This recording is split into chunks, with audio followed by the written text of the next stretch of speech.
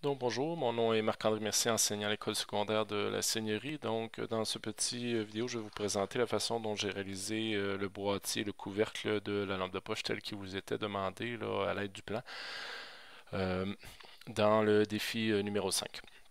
Donc je vais débuter par aller créer un projet. Donc comme d'habitude, cliquez sur projet, créer.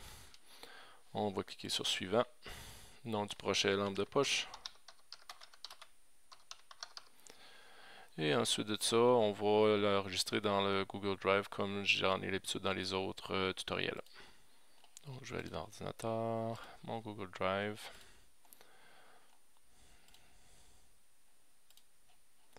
Je vais créer un nouveau dossier qui va s'appeler lampe de poche.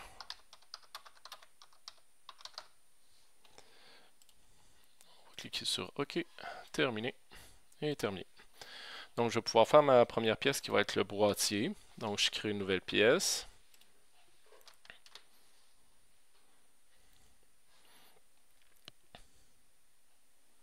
Donc, on va débuter par euh, dessiner euh, le cylindre euh, de la pièce. Donc, j'ai débuté une esquisse. je vais dessiner un premier cercle qui va être de 40 mm.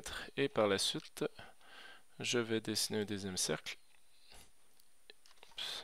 Et lui, je vais donner comme valeur D0 moins 5. Ce qui veut dire 35. Je vais terminer l'esquisse. Et je vais extruder seulement le pourtour, donc extrusion, le pourtour, donc pour faire euh, un tuyau si on veut, le boîtier. Et ça, ça va être un 90 mm de longueur. Donc le boîtier est extrudé. Par la suite, je vais faire euh, une plaque à l'extrémité pour euh, faire ressortir la lumière ou la DEL. Donc commencer un esquisse, je vais venir sur le pourtour du tuyau si on veut du boîtier. Je vais venir faire une projection de géométrie pour l'extérieur. Et par la suite, je vais venir euh, créer un cercle qui, lui, va avoir un diamètre de 18 mm. Donc, je sais que mon trou, je le veux toujours de 18 mm. C'est pour ça que je n'ai pas utilisé l'option décalée, là, parce que si euh, le pourtour grossit, je veux que le trou reste de 18 mm. Je vais terminer et je vais extruder seulement le pourtour de 2 mm. Donc, extrusion, le pourtour ici, et la longueur que je veux, c'est uniquement 2 mm. Donc, je pourrais avoir ma lumière qui va sortir par ici. Par la suite, on va placer euh, un trou pour euh, l'interrupteur. Donc, euh, pour le ce faire, ça va me prendre un plan. Donc, je vais venir décaler un plan, comme on a déjà fait. Donc, visibilité. Je vais venir sur plan. Je vais venir décaler d'un plan. Je vais venir choisir le plan. Et là, je vais marquer des zéros. Divisé par 2. Donc, je vais me retrouver là, tangent au cylindre. Je vais venir enlever la visibilité du XY, tout seulement travailler ce plan-là. Et là-dessus, je vais venir créer une esquisse. Donc sur cette esquisse, dans le haut ici, je vais placer l'interrupteur. Donc je vais venir choisir rectangle à deux points. Je vais venir le placer. Les dimensions, c'est en longueur 13.4 et en largeur 8.5. Donc tab 8.5. Enter. Et là, je vais venir contraindre euh, l'élément. Donc euh, celui-ci, au centre avec le centre ici. Et entre l'extrémité et le début du trou, je vais mettre un 10 mm. Donc ma pièce est contrainte, je vais terminer. Je vais extruder cette forme-là pour enlever de la matière sur 7 mm. Et à ce moment-là, je peux supprimer le plan de construction qui est ici, enlever la visibilité. Dernière chose, il va me rester euh, les filets à placer à l'intérieur parce que je veux, avec possible, de visser le couvercle au boîtier. Donc, je vais venir sur filetage. Je vais venir ici à l'intérieur. Euh, ce que je veux, par exemple, c'est pas sur la longueur entière, je veux sûrement sur 10 mm. Puis là, ben, tout dépendant où je me place, est-ce qu'il va le prendre euh, à un bout ou à l'autre bout du cylindre, si vous regardez. là. Donc, il peut le placer ici ou là. Donc, je vais vous assurer que vous êtes à l'extrémité ici. On va venir cliquer. Euh, je vais encore prendre filetage Diodine ici. Et les paramètres sont bons, donc je vais faire OK. Il va me rester avec Cool Orange, venir euh, modéliser le filetage. Je vais choisir le filetage 1, OK. Et à ce moment-là, les filets ont été ajoutés. Je vais juste, euh, pour terminer, mettre un peu de couleur. Donc, on va mettre ça, tiens, orange. Mhm. Orange ici. Donc, mon boîtier est complet avec une place pour l'interrupteur, la lumière. Donc, on va enregistrer notre boîtier. Donc,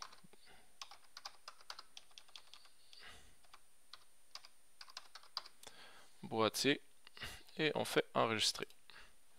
Par la suite, on va faire euh, le deuxième partie. Donc, je vais retourner sur euh, la page d'accueil. Je vais venir sur euh, pièce pour créer une nouvelle pièce. Et là, je vais créer finalement le, couvercle, le bouchon de, de, ma lampe de poche. On va débuter par une esquisse en faisant un cercle de 34. Donc ici, 34. 34 étant un mm de moins que le, euh, le 35 qu'on avait tout à l'heure pour mettre les, les, filets de fonctionner. Donc on va marquer 34. Et ensuite de ça, je vais décaler ce cercle-là de 3 mm euh, à l'intérieur. Je vais terminer l'esquisse. Je vais extruder cette partie-là sur 9 mm. Par la suite, euh, je vais faire euh, la partie fermée du bouchon. donc, euh, je vais venir créer une nouvelle esquisse sur le bout du tuyau ou le bout du bouchon.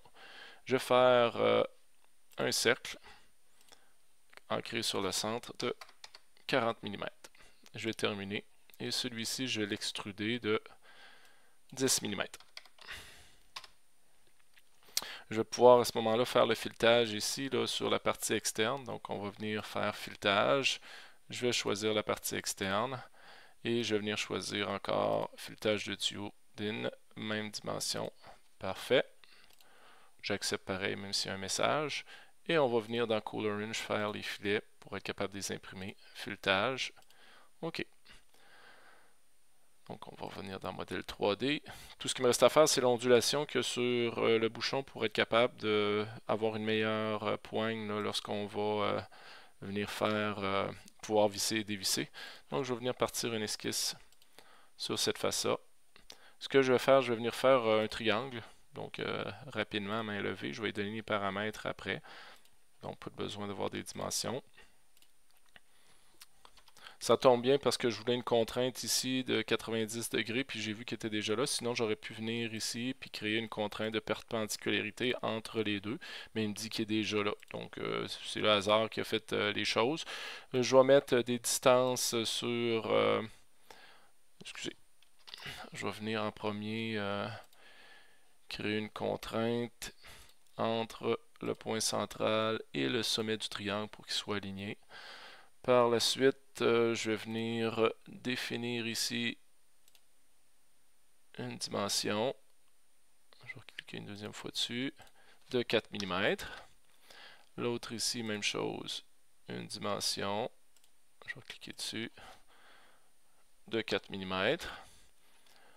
On voit ici que les sommets ne sont pas euh, joints, donc ce que je vais faire, je vais venir euh, chercher une contrainte de coïncidence. Je vais prendre l'extrémité de la ligne avec l'autre extrémité. Les deux vont être coïncidés. Et la dernière euh, cote que je vais mettre, c'est entre le point central et l'extrémité du triangle ici. Je vais mettre une distance de 17.5.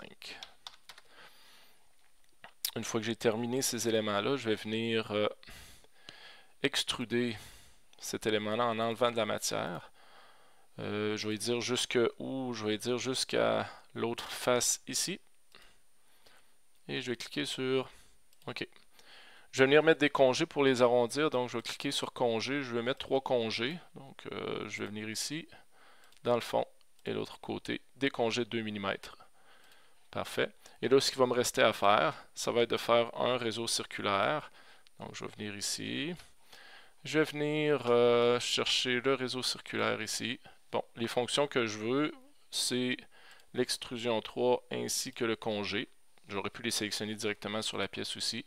Euh, l'axe de rotation, euh, je peux prendre le cercle contenu qui est au centre. Euh, je vais pouvoir l'utiliser. Et là, je vais dire combien de fois que je le veux. Je le veux 18 fois à l'intérieur de mon cercle. Et là, je vais cliquer sur OK. Et à ce moment-là, on peut avoir le bouchon qui est fait avec la pointe dessus. Dernière chose, je vais euh, venir euh, euh, également changer la couleur. Je vais le mettre en orange aussi. Orange. Et je vais l'enregistrer. Donc ça va s'appeler couvercle.